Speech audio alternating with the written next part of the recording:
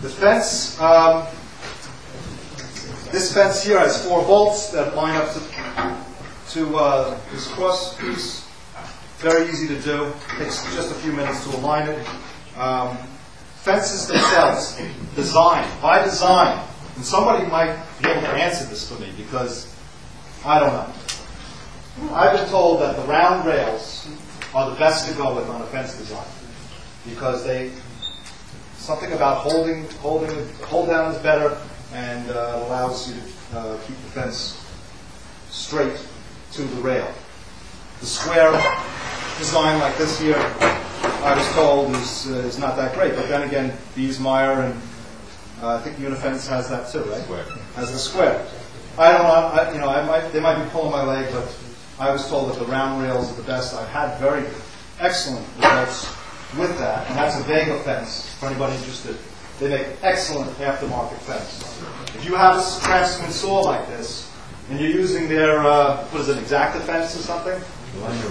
Believe me, it is not accurate. Charlie. Yeah, the round rail has more of a grabbing, more grabbing point. That's what it was. Rather than the square. Yes, right. The round rail, as Charlie said, has uh, more surface area for you to, for your for your cam to lock to. Is that right? Yeah. Okay.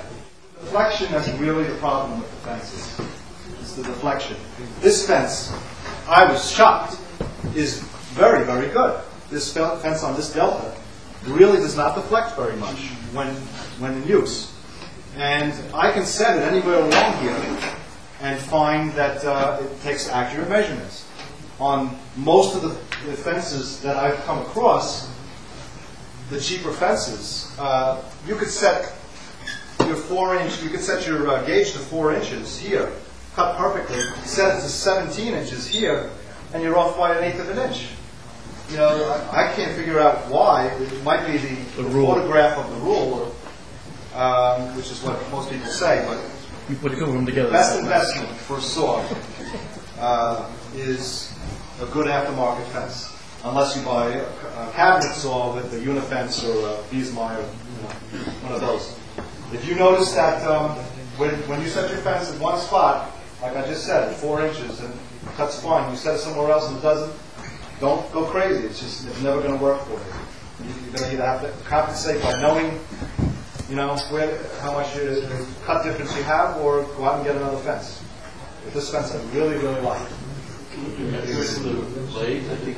You can measure it from, the- on, on something like this, normally, on a bench top, I would always take a wooden rule, folding rule, don't use a tape measure, use a full, a wooden rule, and measure from the front uh, tooth to the fence and the back tooth to the fence. Don't just trust one, because you may have that, like I said, the uh, the deflection.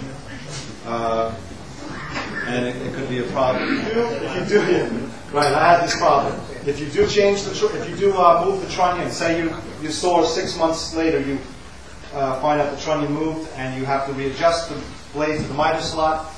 Go back and check your fence, your uh, your measurements, because it could be off by 30 seconds, 64.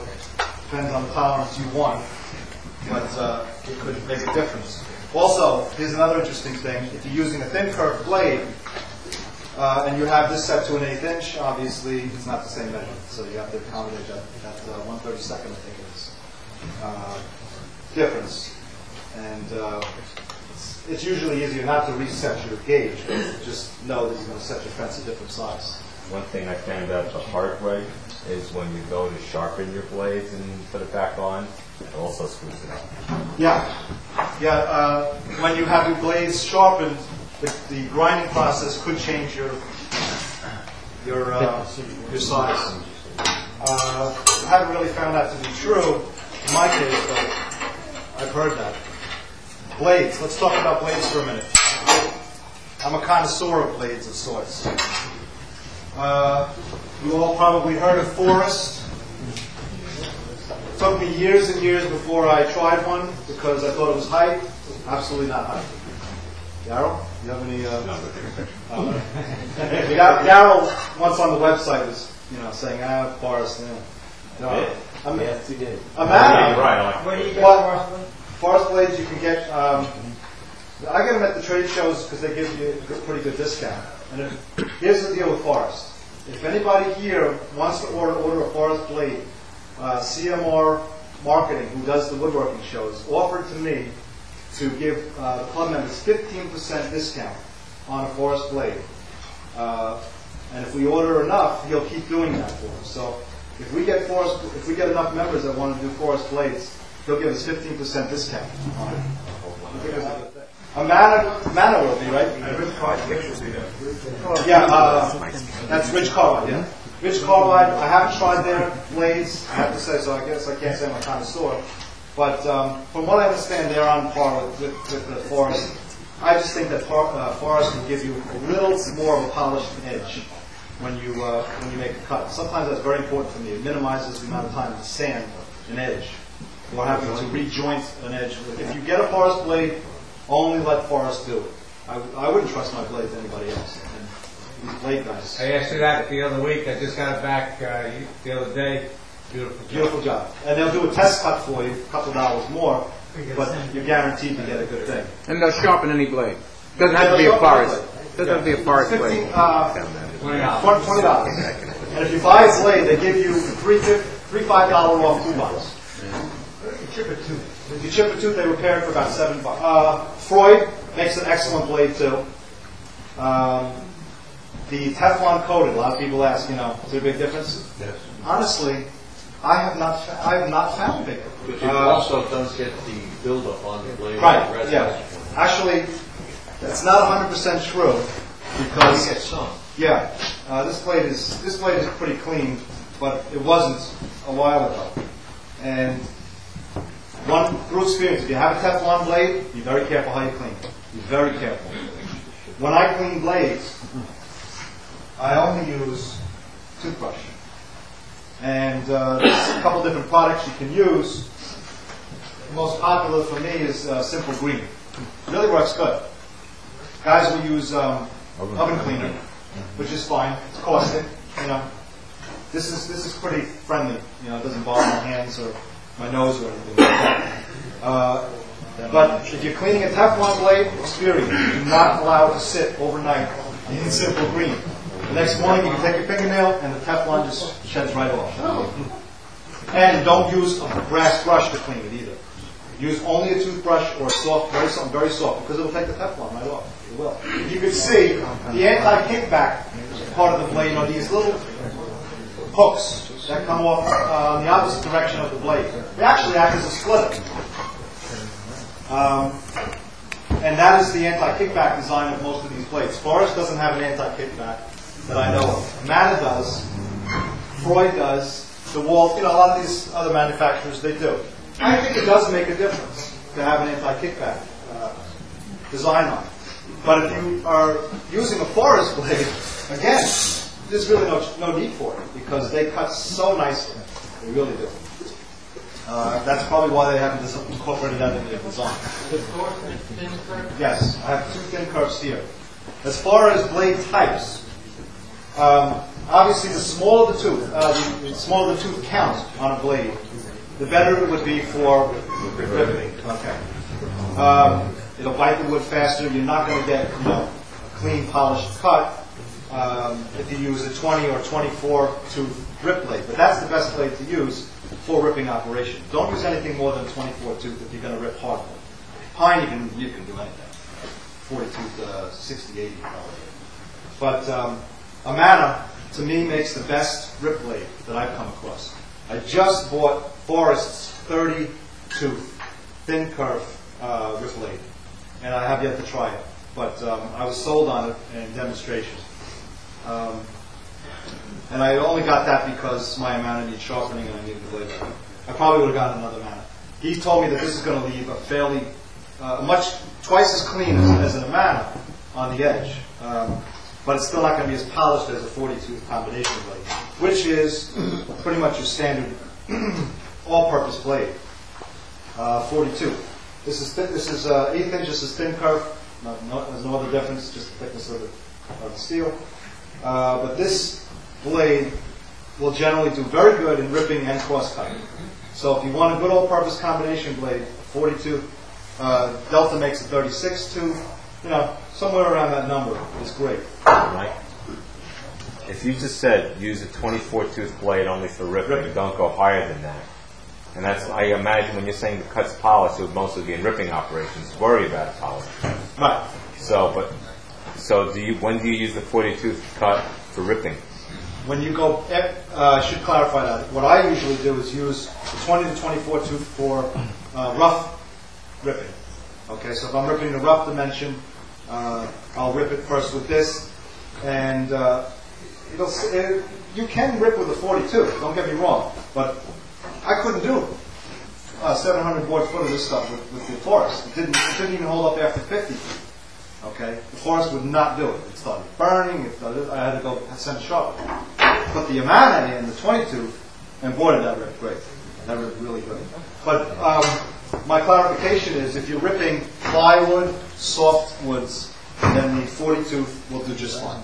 But if you're ripping hardwoods, red oak, or anything harder than that, uh, you know, you could rip cherry with a 42 too, uh, and get a, you know, and get decent results. But anything, any hardwoods, you want to go with 20 or 24 tooth. Uh, then you got your cross-cutting blades, which are usually 60 to 80 teeth. Um, this one here is, I think, these are both 80s.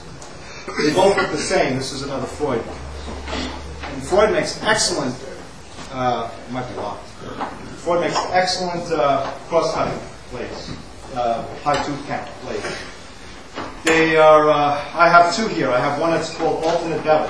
One tooth goes this way, one tooth goes that way, and that's it. There's no straight on this. There's, there's one that does all three, I think. It's flat, alternate. This one here is uh, ATB, uh, uh, no, uh, triple chip grind, where the blade is flat on the top, but each side of the blade is beveled. Every other tooth. It's flat on one and alternate uh, and beveled on, on, on each side. You can look at it later and see. They're um, basically this.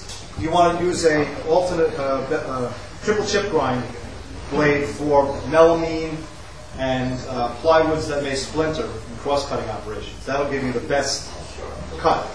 Uh, and the alternate bevel will work fine for just about any cross-cutting operation, but you will get splinter, especially on the edge. What about the MDF?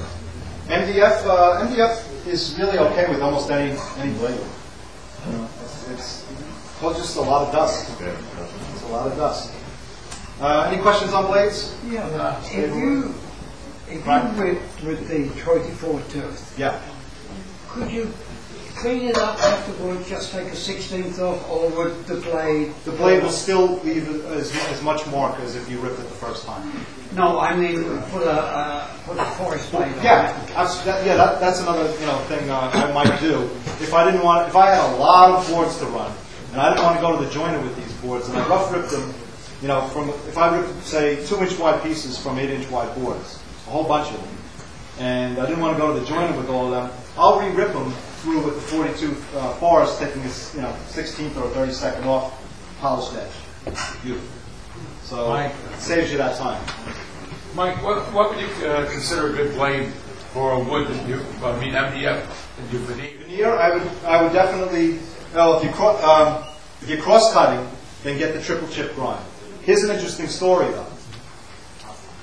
I went out and bought, spent hundred dollars on that blade, on that triple chip grind blade for uh, for the veneer, cross cutting veneer, and it, it worked okay. But one day, I'm I, saying raw veneer, not restored. oh, uh, raw, you mean 16th inch uh, Yeah, veneer? one thirty second. That's tough. That's tough. A knife is your best bet. I mean, like a panel, veneer panel, a, a panel of uh, That's it's already plywood glued the- panel. No, I mean, I would be veneer it myself an MDF.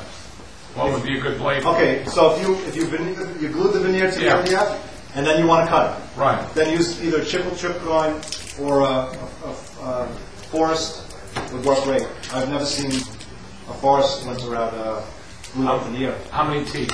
Forty tooth is fine, but as high as you can go. But I can tell you, if you get a dado set, don't buy the uh, model.